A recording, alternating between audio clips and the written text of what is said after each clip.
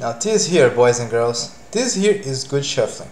When you can have more of the same card than you have fucking lands by turn 3. Amazing.